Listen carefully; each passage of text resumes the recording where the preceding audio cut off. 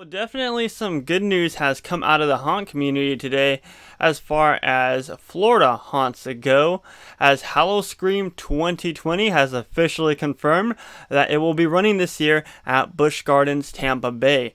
But for the haunted house themed event, it will not feature haunted houses and only scare zones. So you gotta ask yourself, is it really worth the trip? Let's talk about it.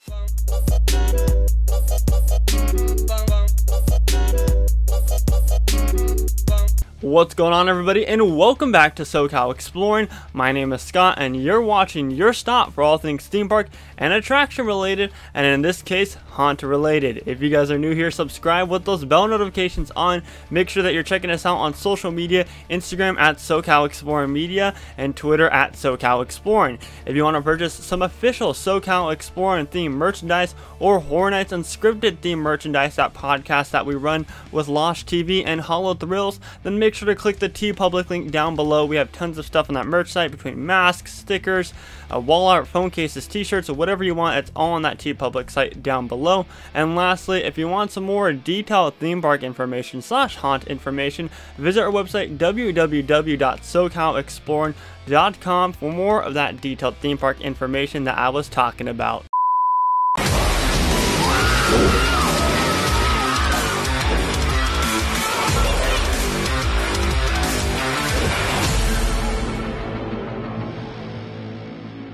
But yes, Howl-O-Scream 2020 is confirmed for Busch Gardens, Tampa Bay. And a lot of us Haunt fans were wondering, you know, Howl-O-Scream has not said anything. They're not doing any announcements. They haven't done anything of that sort. You know, Halloween Horror Nights Orlando got canceled like a month ago. Maybe uh, it's been like a couple weeks. I don't know how exactly how long it's been. So, you know, is Howl-O-Scream next? Well, it seems like Howl-O-Scream is not letting the pandemic scare them away and they're running their event for 2020. Like I said, the event will only be running with scare zones and entertainment.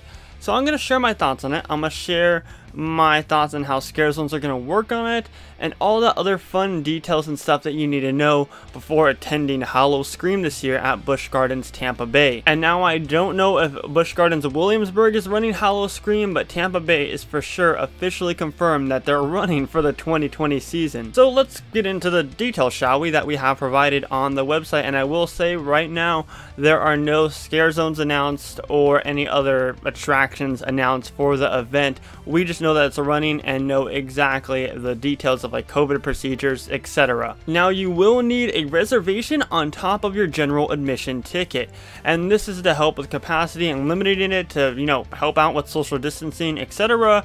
So you will need a, a free reservation on top of your paid general admission.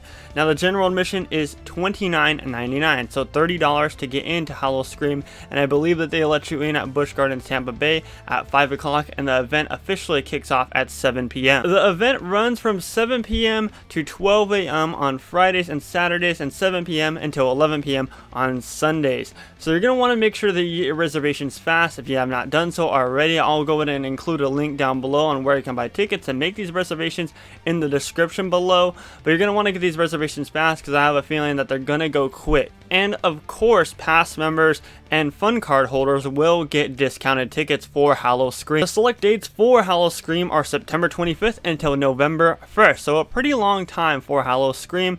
I know that's what they typically do, but a lot of the haunts that are still deciding to run in the Orlando area at least only are running for a short period of time and sometimes even maybe just three weeks. So this is a long haunt for everyone, a fan of the haunt community that get to enjoy Howl-O-Scream. Now one thing that I just noticed is that they did announce a show. It's a new spacious outdoor Fiend show. The fan favorite Fiend show starring Dr. Frankenstein and his frightful entourage will take to its largest stage ever for outdoor performances on the festival field stage. Then they go on to say that seating for benches will be spread out and socially distanced from other parties so you know everyone is staying COVID safe while attending and watching the Fiends show. Now, as far as health and safety goes, it'll still be the same, you know, health and safety procedures that Busch Gardens Tampa Bay the daytime theme park, is implementing already. It'll be the same stuff for employees, scare actors, um, guests who are visiting the event. You know, you got to get your temperature check, you have to wear a mask, you have to stay six feet between those and the ones around you. And they have a couple questions, you know, a frequently asked questions section that answers some of the questions how actors stay safe,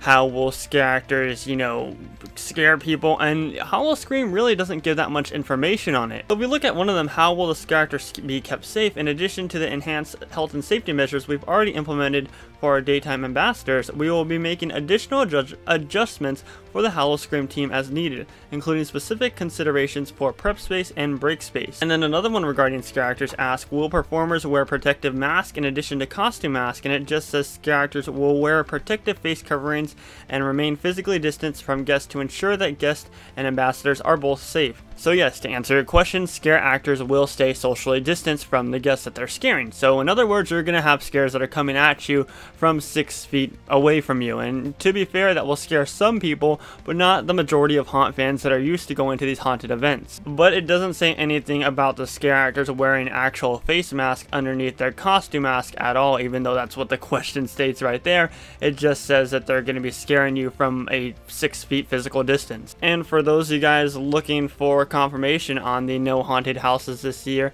in a reply to someone's tweet, Howl-O-Scream tweets, in an effort to provide a fun, safe, experience for our guests, the event will not include haunted houses. The creative production team has been consulting with medical experts and has modified the event to focus on a park takeover with open air scare zones and entertainment. That brings us to our topic right now. How is the event going to function? Will it be worth going? Will it be entertaining?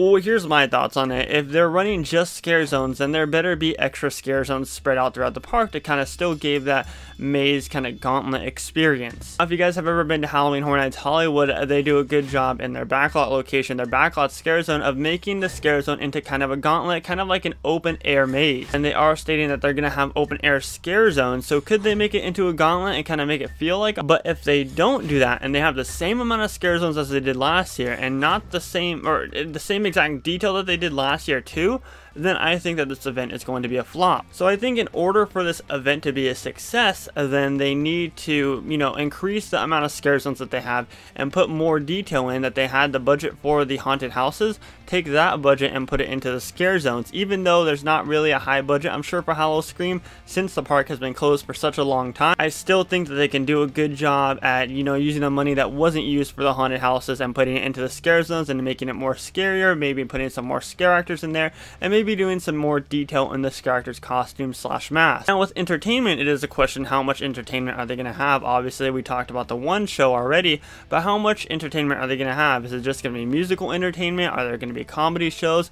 Is there going to be scare actor shows? Who knows? Right now, we don't know any of the official scare zones or the official shows besides that one that we talked about. But that tweet does say that it's going to be a park-wide takeover of scare zones and entertainment, so that leads me to believe that there's going to be something to do every corner. But really what it comes down to is for the price point of $30, is it worth going? I know a lot of people that go to Howl-O-Scream are from the Orlando area, which I believe is about a two hour drive to Tampa Bay. So haunt fans really got to think, is it worth them going all that way? For the locals, I'm sure it'll work out just fine and Busch Gardens will see success with the locals.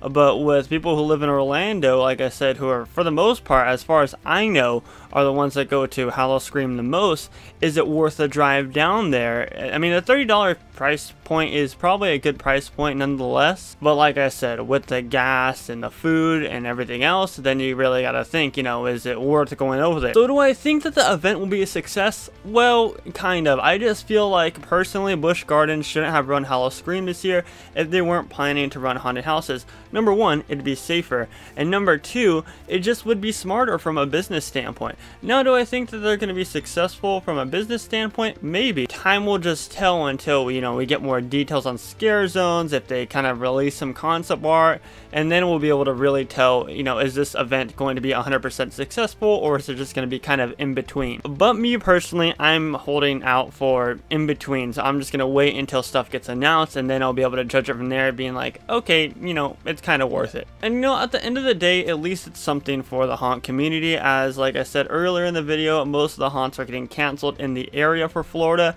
so at least this is something like kind of a big haunt because The only really big haunts that I know of are Halloween Horror Nights Orlando and Busch Gardens Tampa Bay, so at least they have one to hold on to and enjoy this Halloween season. And also I feel like another big reasoning for the Busch Gardens deciding to run Howl-O-Scream this year is because HHN got canceled. They figure they can capitalize and they'll draw in more fans of Halloween Horror Nights to their event since Halloween Horror Nights 30 is canceled for this year, or Halloween Horror Nights 2020 is canceled, because Halloween Horror Nights 30 is not canceled, it's just postponed until 2021. And then like I said, you gotta think about is it safe? It seems like it's gonna be safe for the most part, it just depends on the outside characters that they bring in, and you know, uh, will the characters stay true to staying six feet away, or are they gonna go back to their roots of scaring up close and personal, as all haunt events are usually are?